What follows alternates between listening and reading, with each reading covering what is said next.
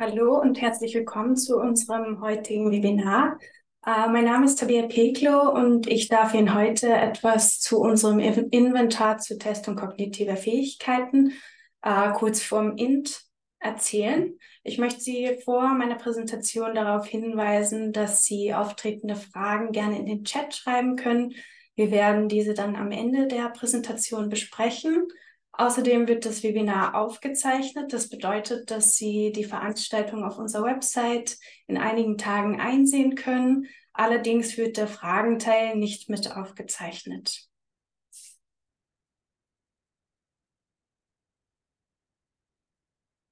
Bevor ich genauer zum INT komme, möchte ich einmal mit Ihnen durchbesprechen, vor welchen Herausforderungen die moderne Eignungsdiagnostik heutzutage steht. Da wäre einmal die Internationalisierung zu nennen. Denn es gibt immer mehr globale Unternehmen, die weltweit rekrutieren, beziehungsweise ähm, die Bewerbungsgespräche über ähm, lange Distanzen durchführen müssen. Und dann gibt es eben auch Branchen, wo es notwendig ist, dass Kandidatinnen aus dem Ausland ähm, zur Auswahl herangezogen werden, denn es gibt zum Beispiel in der Fahrindustrie ähm, einen Personalmangel. Das heißt, wir haben viel zu wenig Lkw-FahrerInnen und daher müssen wir auf Personen aus dem Ausland äh, zurückgreifen und eben auch im Ausland rekrutieren. Und dann sind wir alle auch seit der Pandemie einfach daran gewöhnt, äh, aus dem Homeoffice zu arbeiten, Meetings und Calls online zu haben und ja, eine ähm, Eignungsdiagnostik, die ortsunabhängig durchgeführt werden kann, ist da einfach was, was auf dem neuesten Stand der Dinge ist.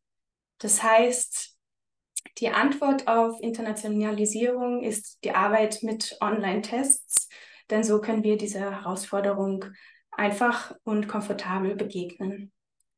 Eine nächste Herausforderung ist, dass es je nach Branche entweder viel zu viele oder viel zu wenig Bewerberinnen und Bewerber gibt und hier wäre ein Beispiel die Flugindustrie. Das ist einfach eine Branche, wo ähm, viele Personen eine Ausbildung machen möchten oder einen Job antreten möchten. Und da kommen auf eine Stelle meistens sehr, sehr viele Bewerberinnen und Bewerber.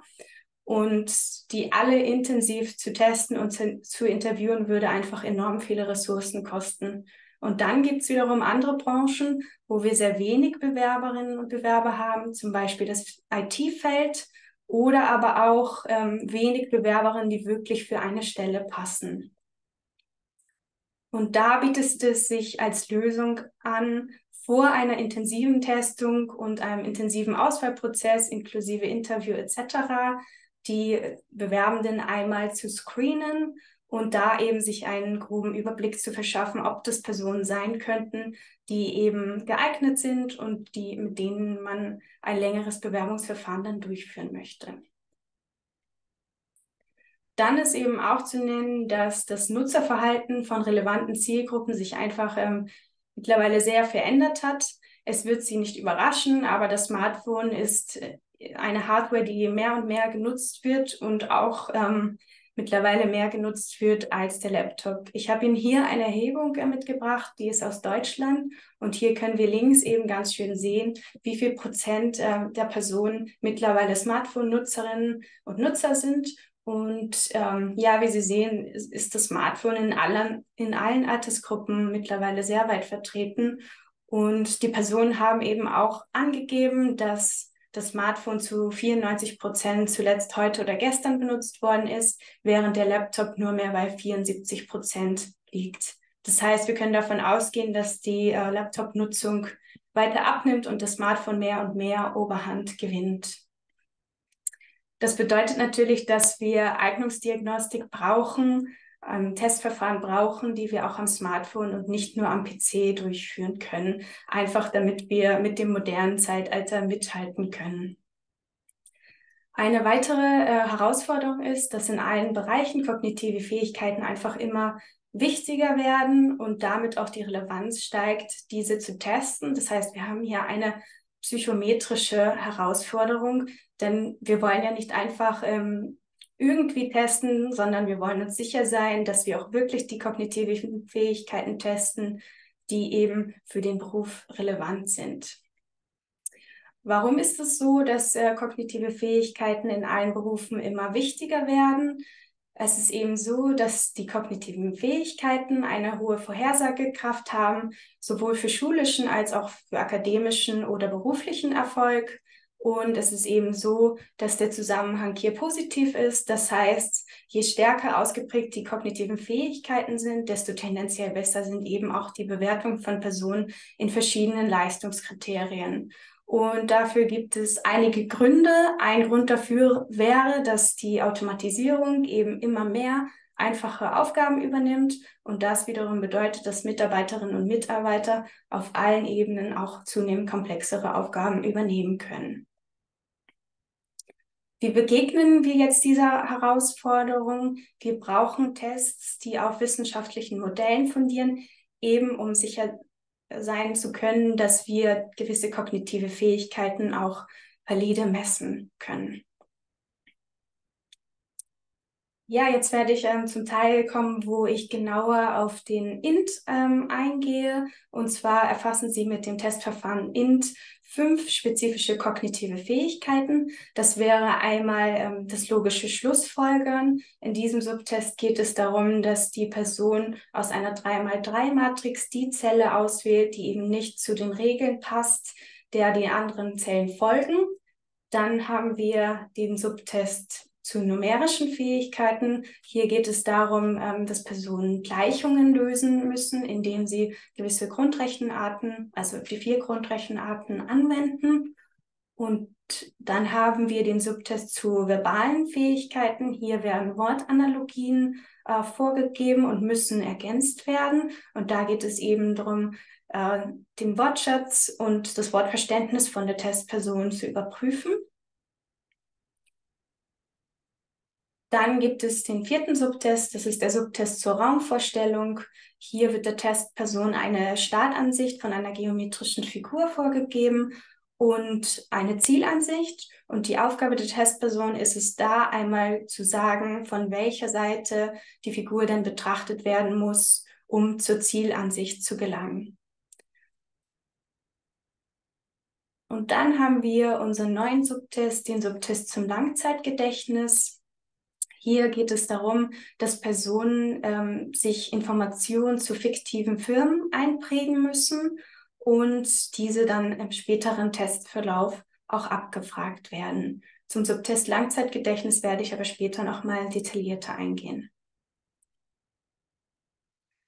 Genau, und das Schöne äh, mit unserem INT ist eben, dass sie nicht nur die fünf spezifischen äh, kognitiven Fähigkeiten erfassen, sondern wenn sie zwei oder mehr Subtests vorgeben, auch einen Wert für die allgemeine kognitive Leistungsfähigkeit der jeweiligen Testperson und damit einen guten Überblick bekommen. Die Testung äh, funktioniert eben am Smartphone, aber auch am Tablet und ganz klassisch am PC. Sie sehen hier links einmal die Ansicht vom Smartphone und rechts haben wir die Ansicht vom PC. Ja, wir haben in einem vorherigen ähm, Webinar vor ein paar Monaten bereits die bisherigen vier Dimensionen und auch die spezifischen Besonderheiten vom INT vorgestellt. Ähm, Sie können dieses äh, Webinar auf unserer Website finden und können über den, diesen QR-Code ähm, dorthin gelangen. Das Ganze ist ähm, gratis nachzuschauen und ich würde Ihnen eben empfehlen, wenn Sie noch nicht umfassend ähm, über den INT informiert sind, sich da einmal einen guten Überblick zu verschaffen. Genau, aber worauf bezieht sich jetzt eigentlich der Subtest zum Langzeitgedächtnis? Ähm, die Aufgaben, also die Items, Items von diesem Subtest beziehen sich auf die Fähigkeit, äh, sich Informationen mittel- bis langfristig einzuprägen, diese Informationen dann in die eigene Wissensbasis zu integrieren und sie bei Bedarf auch schnell abrufen und verknüpfen zu können. Das Langzeitgedächtnis wird in dem Kettlehorn-Carroll CHC-Modell, ähm, worauf also alle Subtests vom INT basieren, dem Sekundärfaktor Learning Efficiency zugeordnet. Wenn Sie ähm, noch ein größeres Interesse an dem Modell haben, verweise ich ebenso auf das letzte Webinar. Da geht die Kollegin eben noch mal genauer drauf ein. Aber ähm, der Subtest zum Langzeitgedächtnis wird eben der Learning Efficiency zugeordnet. Ähm, das ist die Fähigkeit, Informationen zu lernen, zu speichern und zu konsolidieren. Und insbesondere beziehen sich die Aufgaben auf den Unterfaktor Meaningful Memory, also die Fähigkeit, sich an semantisch verknüpfte Informationen erinnern zu können. Warum ist es denn jetzt eigentlich so wichtig, das Langzeitgedächtnis in kognitiven Leistungstestungen mitzuerheben? Es ist eben so, dass das Langzeitgedächtnis einfach eine sehr große Rolle in verschiedenen Bereichen spielt. Einmal ist anzumerken, dass es einfach ein wichtiger Faktor ist, wenn es um den Erfolg in schulischen und, und universitären, aber auch in berufsbegleitenden Aus- und Weiterbildung geht. Und dann ist das Langzeitgedächtnis einfach essentiell für uns, wenn es darum geht, ähm, Anforderungen im beruflichen Alltag erfolgreich bewältigen zu können. Genau, unser Subtest zum Langzeitgedächtnis wird von der Testperson in drei Phasen bearbeitet. Wir haben einmal die Lernphase mit einer Dauer von sechs Minuten. Dann kommt es zu einer sogenannten Pause, wobei hier zu sagen ist, dass es keine wirkliche Pause in dem Sinn ist, denn die Testperson kann in dieser Zeit eben andere Subtests vom INT ähm, bearbeiten. Äh, diese sogenannte Pause sollte mindestens 30 Minuten dauern und danach kommt es dann eben zur Prüfphase, wo das vorab gelernte Wissen von der Testperson abgeprüft wird. In der Lernphase prägt sich die Testperson eben Informationen zu sechs fiktiven Firmen ein. Sie sehen hier einmal die Ansicht am Smartphone und am PC. Und es geht eben darum, dass die Testperson sich verbale, numerische, aber auch visuelle Informationen, also das Firmenlogo, ähm, einprägt. Und ähm, jeweils zur Firma wird dann auch noch ein Produkt angegeben. Sie sehen das hier unten ähm, bei dem Mobiltelefon, das eben zwei spezifische Merkmale hat, die sich ebenso mit eingeprägt werden sollen. Es ist so, dass die äh, Testperson in der Lernphase ihre Zeit frei zur Verfügung hat. Das, kann, das heißt, sie kann einfach äh, zwischen den Firmenprofilen wechseln, wie sie möchte.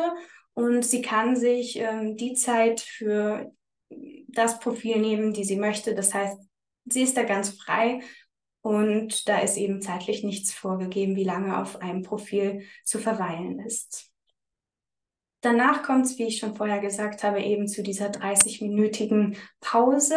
Und dann ist es eben so, dass äh, Fragen beantwortet werden müssen. Hier wird einfach auf die vorab ähm, gelernten Informationen eingegangen und die Testperson hat da einige Fragen zu den Firmen und ihren Produkten zu beantworten. Ja, und das Schöne ist, dass mit dem neuen Subtest zum Langzeitgedächtnis sich eben auch der Anwendungsbereich vom Testverfahren INT vergrößert.